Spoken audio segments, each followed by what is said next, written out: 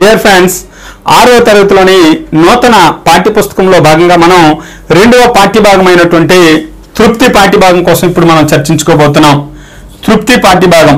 ప్రశ్న అడిగే విధానం చాలా చాలా ఇంపార్టెంట్ కాబట్టి ఈ తృప్తి పాఠ్యభాగం యొక్క ప్రక్రియ ఇతివృత్తాలు వరుసగా గుర్తించండి అని అడుగుతున్నాడు. అడిగితే ఇదొక కథానిక ప్రక్రియ ఇతివృత్తం ఏంటి సార్ అని అడిగితే మానవ విలువలు లేదా మానవత్వపు విలువలుగా మనం చెప్పుకోవడం జరుగుతూ ఉంది. మానవత్వ విలువలు కథానిక. అయితే ప్రక్రియ కోసం మనం పరిచయం చేసుకోవాలి ఇక్కడ. ఖచ్చితంగా మనం గమనించినట్లయితే ఇది టెట్ని ఉద్దేశించి అలాగే టెక్స్ట్ బుక్ని బేస్ చేసుకొని చెప్తున్నాం. తెలుగు పండిట్స్కి మరలా ప్రక్రియలు వేరే చెప్పినప్పుడు ఇంకా లోతైన విశ్లేషణ చేద్దాం.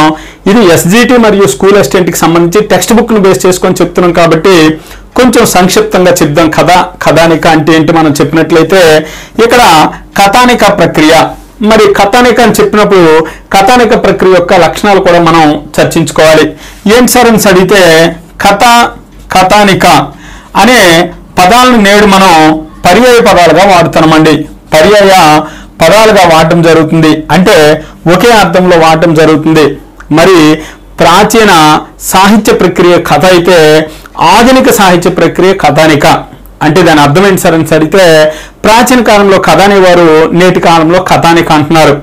మరి దానికి దీనికి తేడా ఏంటి సార్? కథకి కథానికి తేడా ఏంటంటే పెద్దగా తేడా లేదు. కథ యొక్క నిడివి ఎక్కువగా ఉంటుంది. కథాని యొక్క కథానికి యొక్క నిడివి చాలా తక్కువగా ఉంటుంది. అంతే తేడా తప్ప అన్ని లక్షణాలు సరిపోతాయి.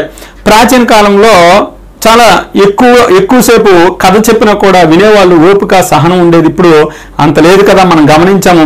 అంతా కూడా ఫాస్ట్ ఫుడ్ కల్చర్ లాగా ఇక్కడ ఆ కథానికి తయారైంది. ఇక్కడ మనం గమనించినట్లయితే అయితే కథ అనేది ప్రాచీన సాహిత్య ప్రక్రియ అయితే కథానిక అనేది ఆధునిక సాహిత్య ప్రక్రియ. మరి కథ యొక్క ప్రస్తావన మొట్టమొదటిసారిగా అగ్ని పురాణంలో చూడొచ్చు. అగ్ని పురాణంలో. ఈ అగ్ని పురాణంలో ఏం చెప్పబడింది అని అడిగితే కథ కోసము పద్యాలు లేని గద్య ప్రబంధాన్నే కథ అని చెప్పడం జరిగింది. చూడండి పద్యాలు లేని పద్యాలు లేని గద్య ప్రబంధాన్ని గద్య ప్రబంధాన్ని కథ అని చెప్తూ ఆదిలో భయానకం ఆదిలో భయానకం భయానకం మధ్యలో కరుణ మధ్యలో కరుణ అంత్యలో అద్భుతం అద్భుతం కలిగినదే కథ అని చెప్పి అగ్నిపురాణంలో ఈ యొక్క నిర్వచనాన్ని మనం చూడొచ్చు. దేనికోసం మనం మాట్లాడుతున్నాం? కథ కథానికి కోసం మనం మాట్లాడుతున్నాం. మొట్టమొదటిసారిగా కథ యొక్క ప్రస్తావన అగ్నిపురాణంలో ఇలా చెప్పబడింది. పద్యాల్లోని గద్య ప్రబంధాన్ని కథ అని చెబుతూ ఆదిలో భయానకం మధ్యలో కరుణ అంతంలో అద్భుతం ఉన్నదే కథ అని చెప్పబడింది. ఇవి రసాలన్నమాట మొదట్లో భయానక రసం ఉండాలట మధ్యలో కరుణ రసం ఉండాలట అంత్యలో అంటే అంతంలో అద్భుత రసం ఉండాలట. దాన్నే కథగా మనకి అగ్ని పురాణంలో చెప్పబడింది. మరి మన అందరికి తెలుసు ఆధునిక యుగంలో కథానిక వచ్చింది. మరి ఇక్కడ ప్రాచీన కాలంలో కథ అంటున్నాం ఆధునిక కాలంలో కథానిక అంటున్నాం. మరి ఈ ఆధునిక యుగంలో కథానిక తొలి తెలుగు కథానికగా దేని చెబుతారు సార్ అని అడిగితే దిద్దుబాటు కథానికని మనందరం కూడా అంగీకరించాలి. ఈ దిద్దుబాటు కథానిక ఉంది కదా. ఈ దిద్దుబాటు కథానిక గురజాడ అప్పారావు గారు రాయడం జరిగింది. అది అందరికీ తెలిసిన విషయమే. మరి దిద్దుబాటు కథానిక పంతొమ్మిది వందల పదో సంవత్సరంలో ఆంధ్ర భారతి ఆంధ్ర భారతి అనే పత్రికలో ప్రచురితం కూడా అయినట్టుగా మనం చెప్పుకుంటాం. అయితే దిద్దుబాటు కథానికి గురదాడప్పారావు గారు మొదట ఆయన పెట్టిన పేరేం పేరు సార్ అని అడిగితే కమలిని అని పెట్టారనమాట ఆయన దిద్దుబాటు అని పెట్టలేదు సార్ కమలిని. మరి ఎందుకో కమలిని అని పెట్టారంటే అందులో ప్రధాన పాత్ర కమలని. ఈ కమలని యొక్క భర్త పేరు గోపాలరావు. వీళ్ళిద్దరు కూడా భార్య భర్తలు అయితే తన భర్త అయినటువంటి గోపాలరావు చెడు వ్యసనాలకు లోనై ఇతర స్త్రీలకి బానిసై జీవితాన్ని పాడు చేసుకుంటూ ఉంటే తన భార్య అయినటువంటి కమలని గోపాలరావుని మంచి మార్గం వైపు తీసుకొస్తుంది. అంటే దిద్దుబాటు చర్యలు తీసుకుంటుంది. కాబట్టి దానికి దిద్దుబాటు అని పేరు పెట్టడం జరిగింది. అంటే గురజాడప్పారావు గారు అంతకుముందు దిద్దుబాటుకు అంతకుముందు కమలని అని పేరు పెట్టినట్టుగా మనం చెప్పొచ్చు.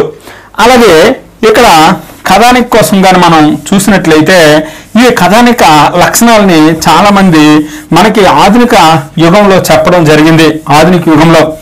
ఇక్కడ మనం చూసినట్లయితే ఇక్కడ కథానిక యొక్క లక్షణాలు మనం గమనించినట్లయితే ఈ కథానిక యొక్క లక్షణాలు ఎట్లా ఉన్నాయి సార్ అని చదివితే సంక్షిప్తత సంక్షిప్తత అలాగే స్వయం సమగ్రత స్వయం సమగ్రత అట్లాగే ఏకాంశగ్రత ఏకాంశగ్రత అలాగే నిర్భరత నిర్భరత అనేవి దేని యొక్క లక్షణాలు సరైన సరితే కథానికి యొక్క లక్షణాలుగా మనం చెప్పొచ్చు. మరి తృప్తి పాఠ్యభాగం కథానికి కాబట్టి ఈ లక్షణాలన్నీ కూడా తెలుసుకొని మన ఎగ్జామ్కి వెళ్తే చాలా చక్కగా ఉపయోగపడుతుందనే ఉద్దేశంతో ఇక్కడ కథానిక ప్రక్రియను మనం పరిచయం చేశాం. సంక్షిప్తత స్వయం సమగ్రత ఏకాంశగ్రత నిర్భరత అనేవి కథానిక యొక్క లక్షణాలుగా మనం చెప్పుకోవడం జరుగుతూ ఉంది. మరి దీని యొక్క ఇతివృత్తమైనటువంటి మానవత్వ విలువల కోసం మనం మాట్లాడుతున్నాం. అయితే ప్రస్తుత పరిస్థితుల్లో మానవత్వ విలువలన్నీ కూడా అంటడిగిపోతున్నాయి. ఇక మనం గమనించినట్లయితే సొంత ఇంట్లో వాళ్ళని కూడా చూడలేని పరిస్థితిలో మనం ఉన్నాం. ఇంకా ముసలి వాళ్ళ పరిస్థితి అయితే మరీ దారుణం. బాగా ఎంతో కష్టపడి ఆ తల్లిదండ్రులు పిల్లల్ని గొప్ప చదువులు చదివించి గొప్పగా అభివృద్ధి చేస్తే ఆ పిల్లలు పెళ్ళైనాక ఆ తల్లిదండ్రుల్ని విడిచి వేరు కాపురం పెట్టి ఈ యొక్క వృద్ధులైనటువంటి తల్లిదండ్రుల్ని వృద్ధాశ్రమాల్లో చేర్పించినటువంటి ప్రబుద్ధులను కూడా మనం సమాజంలో చూస్తున్నాం. అంటే ఇక్కడ మానవత్వ విలువలు రోజు రోజుకి దిగజారిపోతున్నటువంటి సందర్భంలో ఈ తృప్తి పాటి భాగాన్ని చేర్చడం ద్వారా విద్యార్థుల్లో ఇతరుల యొక్క ఆనందమే మనకు తృప్తినిస్తుంది. ఇతరులు ఆనందపడితే అందులోనే మనం తృప్తి పొందవచ్చని తెలియజేస్తున్న పాఠ్యభాగమే తృప్తి పాఠ్యభాగం నిజంగా పూర్ణయ్య అనేటటువంటి ఒక గొప్ప క్యారెక్టర్ ద్వారా గొప్ప పాత్ర ద్వారా ఈ తృప్తి పాఠ్యభాగం చాలా గొప్పగా నడిపించడం జరిగింది. ఇది ఒక కథానిక ప్రక్రియ. మరి కథానిక ప్రక్రియ అయినటువంటి తృప్తి పాఠ్యభాగాన్ని సత్యం శంకర్ మంచి రాయడం జరిగింది. మరి సత్యం శంకర్ మంచి యొక్క కవి పరిచయం కోసం ఒకసారి మనం చూద్దాం. మరి ఈ సత్యం శంకర్ మంచి యొక్క రచయిత పరిచయం కోసం మనం మాట్లాడినట్లయితే ఈ రచయిత గుంటూరు జిల్లా అమరావతిలో జన్మించడం జరిగింది. గుంటూరు జిల్లా అమరావతి. సత్యం శంకర్ మంచి కోసం ఒకసారి మనం మాట్లాడదాం. ఇక్కడ రచయిత తృప్తి పాటిభాగాన్ని రాసినటువంటి రచయిత సత్యం శంకరమంచి. సత్యం శంకరమంచిగా మనం మాట్లాడుతున్నాం. మరి సత్యం శంకరమంచి యొక్క జన్మస్థలం ఏదమ్మా అని అడిగితే ఈయన గుంటూరు జిల్లా అమరావతిలో జన్మించాడు. అమరావతి.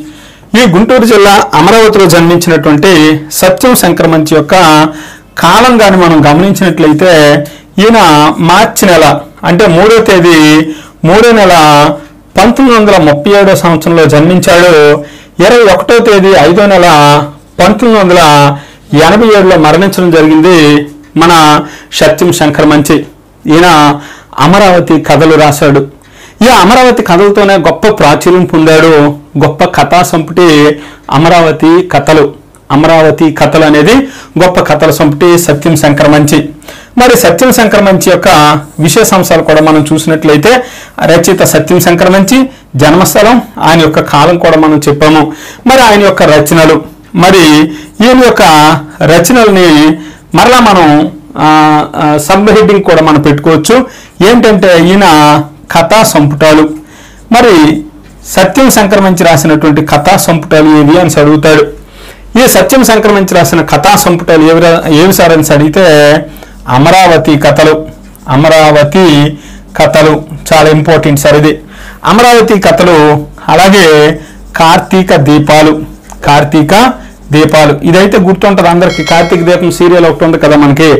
కాబట్టి ఇక్కడ కార్తీక దీపాలు ఈ రెండు కూడా ఏంటి సార్ అని అడిగితే కథా సంపుటాలుగా మీరు గుర్తుంచుకోవాలి. మరి సత్యం సంక్రమించి ఈ కథా సంపుటాలే కాకుండా ఈయన నవలలు కూడా రాస్తున్నాడండి. న- నవలలు. మరి సత్యం సంక్రమించి రాసినటువంటి నవలల కోసం గుర్తించమంటే రేపటి దారి. ఏంటి సార్?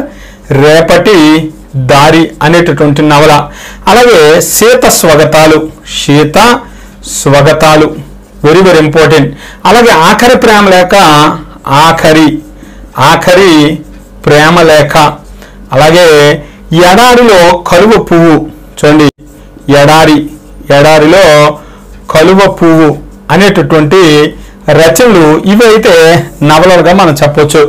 అయితే బిట్ ఫ్రేమ్ చేస్తాడు రేపటి దారి సీత స్వగతాలు ఆఖరి ప్రేమలేక కార్తీక దీపాలు ఇస్తాడు. ఈ క్రింది వాటిలో భిన్నమైంది ఏదో అడగవచ్చు లేదా ఈ క్రింది వాటిలో సత్యం సంక్రమించి రాసినటువంటి రచనల్లో కథా సంపూర్ణ గుర్తించండి అని అంటాడు. ఈ మూడు కూడా నవలలు కాబట్టి కార్తీక దీపాలు ఇస్ ద రైట్ ఆన్సర్గా మనం గుర్తించాలి. మరి సత్యం సంక్రమించి కోసమే మాట్లాడుతున్నాం. మరి ఈ సత్యం సంక్రమించి నాటకం కూడా ఒకటి రాస్తున్నాడమ్మా. ఈ రాసినటువంటి నాటకం ఏది సార్ అని అడిగితే హరహర మహాదేవ హరహర మహాదేవ. అరహర మహాదేవ అనేటువంటి నాటకాన్ని కూడా రాయడం జరిగింది. దాన్ని కూడా అడుగుతాడు. కార్తీక దీపాలు రేపటి దారి సీత స్వగతాలు హరహర మహాదేవ ఇచ్చి ఈ క్రింది వాటిలో ఆయన రాసిన నాటకం ఏదైనా అడిగితే ఖచ్చితంగా హరహర మహాదేవగా మనం ఆన్సర్ చేయాల్సి ఉంటుంది. డియర్ ఫ్రెండ్స్ ఇక్కడ బిట్ వచ్చే విధానం మనకి ఇంపార్టెంట్ అండి. మనకి డిజిటల్ బోర్డు లేదు కాబట్టి డిజిటల్ బోర్డు ఉంటే వాళ్ళు హ్యాపీగా చూసి ఇలా ఇలా టిక్ పెట్టేసి కింద అండర్లైన్ చేసేసి కదా? మొత్తం ఆ వివరణ ఏం లేకుండా దాన్ని కింద ఎలాగా అండర్లైన్ చేస్తూ ఉంటారు అనమాట కానీ బిట్ వచ్చే విధానం మనకి ఇంపార్టెంట్ ఫ్రెండ్స్ గమనించండి. బిట్ ఎలా అడుగుతాడు అనేది మనకి ఇంపార్టెంట్ ఇవన్నీ టెక్స్ట్ బుక్ దాటిని నేనేం చెప్పట్లే. ఎవరు టెక్స్ట్ బుక్ దాటి చెప్పినా కూడా అది మోసం చేసినట్టే. గమనించండి మనం ఖచ్చితంగా టెక్స్ట్ బుక్ని బేస్ చేసుకునే ఈ యొక్క టెట్ ఎగ్జామ్కి ప్రిపేర్ కావాలి. పేపర్ వన్ కానీ పేపర్ టూ కానీ తెలుగు పండిట్లు అయితే ఇంకా దానికి వేరే సిలబస్ ఉంది కాబట్టి దాన్ని మరలా మనం చర్చిద్దాం. మరి ఈయన రాసినటువంటి నాటకం వేరే చదువుకోవాలి నవలలు వేరే చదువుకోవాలి కథా సంపుటాలు వేరే చదవాలి. మళ్ళీ ఈ రచనలో ఏమైనా విశేష అంశాలు ఉన్నాయా అనేది కూడా మనం చర్చించాలి. మరి ఈయన రాసినటువంటి అమరావతి కథలు ఇక్కడ తృప్తి పాటి భాగం ఉంది కదా. ఈ తృప్తి పాటి భాగం అనేది ఖచ్చితంగా ఈ తృప్తి పాటి భాగము అమరావతి కథల నుండి గ్రహించడం జరిగింది. అమరావతి కథల నుండే ప్రస్తుత పాటి భాగం గ్రహించడం జరిగింది. మరి అమరావతి కథలు ఈయన రాశారు గొప్ప రచనని మనం చెప్పుకుంటున్నాం.